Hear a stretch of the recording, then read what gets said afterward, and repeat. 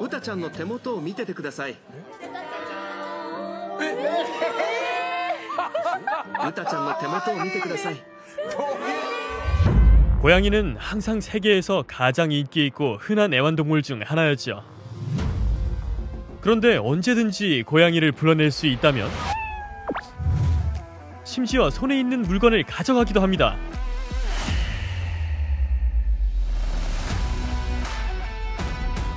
데이비오 우의 캣 버글러를 소개합니다.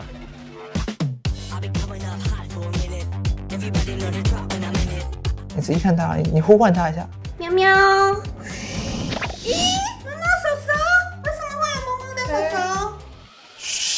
瞬间出现，可以检查一下。对，为什么他的手手在哪里？ 데이비오 우는 유명한 대만의 마술사죠. 유튜브에서도 마술 콘텐츠로 높은 조회수를 올리고 있는데요. 수많은 영상 중에서도 빈손에서 갑자기 고양이 손이 튀어나오는 마술이 가장 인기가 좋았어요.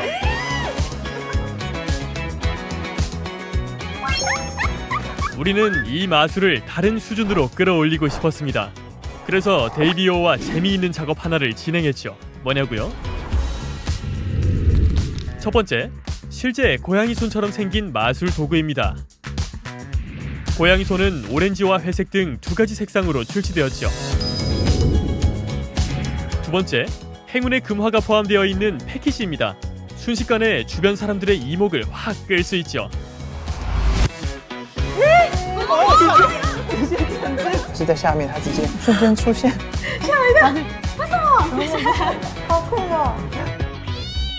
마지막으로 누구나 쉽게 따라할 수 있도록 마술의 비밀 또한 모두 알려드립니다. 혹시 고양이를 좋아하시나요? 그렇다면 이 마술도 분명 좋아하실 거예요. 캣 버글러 지금 만나보세요.